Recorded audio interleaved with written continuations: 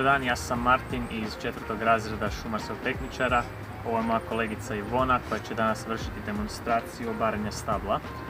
Obarat će stablo tako da će sa strane na koje će htjeti srušiti stablo napraviti zasjek od 45 stupnjeva, a sa druge strane će napraviti potpiljak.